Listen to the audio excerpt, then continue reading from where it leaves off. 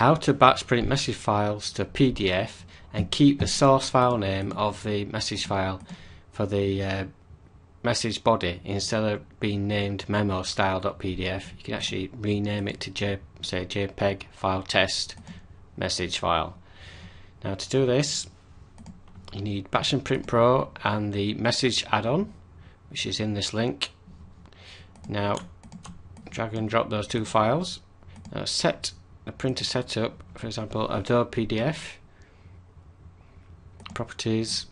I need these settings here I need to output to a folder C test which this folder here. Uh, you don't want to view results. You don't want ask to replace. So once that's set then you can highlight and right mouse on those two files what I've just added. Add-on setup now in this case I don't want to print attachments. I want to rename the memo style PDF to sourcefile.pdf and the folder that's scanning is ctest. This is where the PDFs are going to be created. The actual PDFs created by Adobe PDF printer not by the message setup. It's just going to scan that folder. Save and exit now you need to set in options general setup options wait for spool queue to be clear before printing next file. This is so it doesn't get confused when printing multiple files that the same file name is going to be memo style.pdf so it, it gives it a little bit of time to change the name of the file. Now to do this click print. As you can see it's created the file already. So it's jpeg file test which is same as that. Same file test1.pdf there so it's done that for you. You can open these files and it's the actual text message which is just a simple test. That's done. Now we can actually print the attachments as well to PDF add-on setup print attachments save and exit click print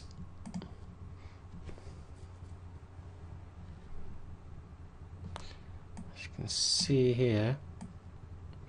What it does it extracts the files that are in the message file? Uh, it prints them out.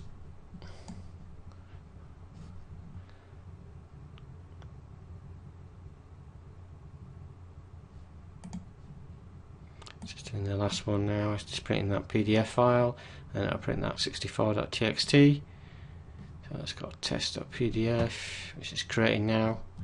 Take a few seconds.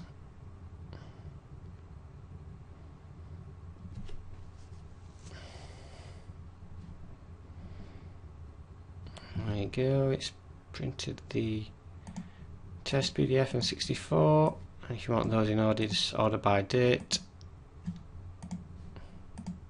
That's exactly the same time so it's not doing it properly so that's that done. Now we can look at the uh, test one message file. So you got test PDF in 64 test in 64 and there you go.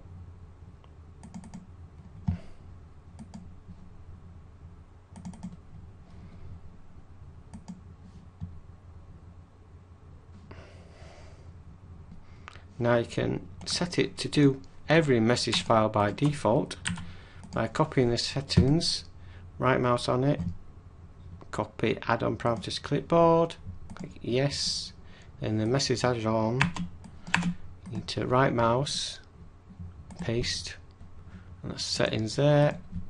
So now I can remove those, add a say new file, scroll across, it's already set, you don't have to set anything, and just click print and then away I go. And that's it.